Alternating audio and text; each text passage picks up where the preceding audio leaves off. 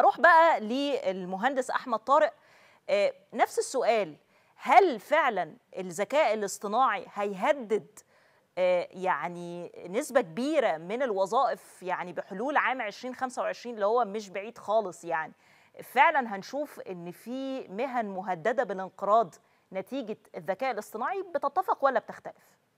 أهلا بحضرتك أستاذة آية واهلا بحضرة ضيوف الكرام. طيب إحنا أول حاجة الذكاء الاصطناعي ده نار المستقبل هو اللي هيكون متدخل في جميع الحاجات اللي موجودة حوالينا إحنا هنقسم الموضوع لثلاث حالات.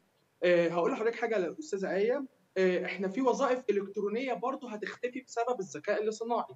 أول حاجة من الثلاث حاجات اللي هنقسمها إن الذكاء الاصطناعي لغى اوريدي وظائف حالية في بعض الدول زي حارس الأمن زي مثلا خدمة الزباين زي مثلا عامل المصنع زي المحللين الاستثماريين. ده كله غطى مكانه الذكاء الاصطناعي بوظائف فعلية مستخدمة عن طريق الذكاء الاصطناعي. العامل الثاني أو القسم الثاني الوظائف الإلكترونية اللي هتنتهي لأن في ناس فاكرة برضو الموضوع الإلكتروني هيفضل مستمر معانا للمستقبل القريب أو المستقبل الحديث اللي إحنا فيه. زي مثلا ال motion graphic زي مثلا التصميم زي الجرافيك تصميم الجرافيك بشكل عام ده كله عن طريق كتابة معينة تقدري تصممي أي حاجة حضرتك.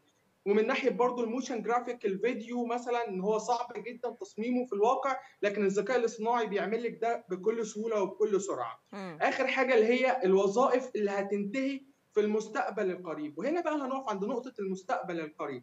إحنا دايما بنقول المستقبل القريب وإحنا أصلا فيه زي ما حضرتك قلتي 2025 كنا زمان بنقول 2030 لكن بنلاقي إن الموضوع بيقرب أكتر كل ما بنعيش يوم ورا التاني بنواكب التكنولوجيا بشكل كبير جدا. وهي تغطي علينا وهي ننتفع بإيجابياتها لأن كل حاجة ليها إيجابيات وسلبيات. من ضمن الوظائف اللي هتنتهي في المستقبل القريب جدا الطب.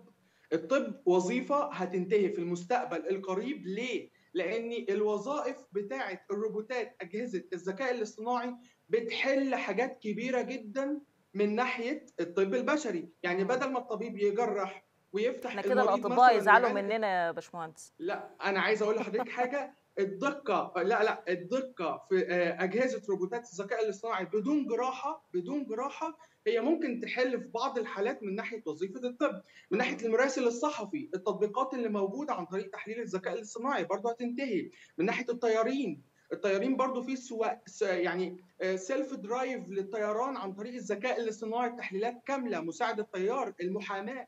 المحاماة من ضمن الحاجات برضو اللي هيبقى في كل موبايل في حياتنا في محامي موجود. إزاي؟ عن طريق تقنية الذكاء الاصطناعي والتطبيقات الموجودة المنتشرة اللي هي موجودة معمولة بره وفيها جميع قوانين الدول اللي تقدر تفيدك وتوظفك وكمان بت بت بتقلل من تكلفة جشع ال ال ال بعض الناس اللي بيستغلوا الناس الثانية من ناحية الغلاء وكده.